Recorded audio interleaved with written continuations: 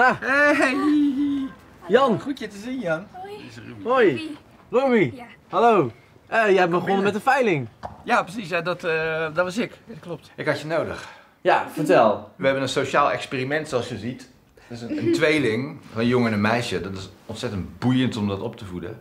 Het zijn soort pre-tieners. En dat, dat, dat merk je gewoon. Elke, elke dag komt er weer een stukje puberteit bij. En Ja. ik hoop dat jij ze wat discipline kan bijbrengen. Maar ook aan het lachen kan maken. En ze zo ehm, klaarmaakt voor de puberteit. Dani en Ruby was het? Ja. Ja. Nou, jullie dachten dat het een hele gezellige middag gaat worden. Oké. Even Zit er nog, hè? knuffel hoor. Geniet er maar nog even van. Succes, schatjes. Maak hem gek. Dag, liefies. Yes. Vergeet je tas niet. Voorzichtig met z'n Jan. Nee. Nee.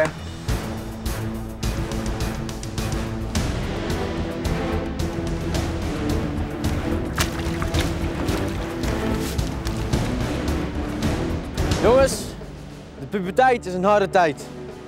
Soms ben je vrolijk, soms ben je boos, soms ben je verdrietig. En je hebt geen flauw idee waarom. Dit wordt de tijd waarin jullie echte volwassenen worden. Op je eerste dag middelbare school ga je een grote, grote boekentas dragen. Ik wil dat één van jullie op de andere mans rug gaat en de bult over. Soldaat, tien keer opdrukken. Jullie zijn, jullie zijn een team. Verrassings Esso. Wat is de hoofdstad van Frankrijk? Parijs. Mooi! En door! En door! Jongens, zo ga je de eerste klas nooit halen! Je zal je zus vaker moeten dragen door moeilijke tijden! Ja, bijna! Ja! Ja! Ja! Ja! Opdrukken! Nou! 1, 2, Ruby! Wat is je 06?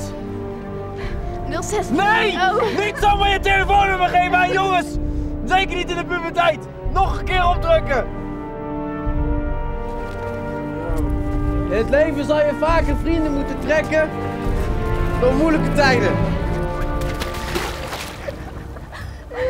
En wat doe je dan? Wat is de hoofdstad van Duitsland? Berlijn. Heel mooi! Je mag hem eruit halen van me. Hoe kom, hoe kom je het water in? Ik bleef het touw om een of andere reden vasthouden. Soms in het leven blijf je vasthouden aan dingen wat niet nodig is. Je moet kunnen loslaten. Ja.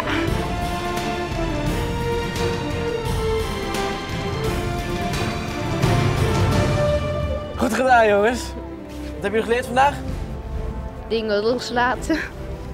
Dat is een goeie. Nou jongens, ik denk dat jullie klaargestoomd zijn voor de puberteit. Ja.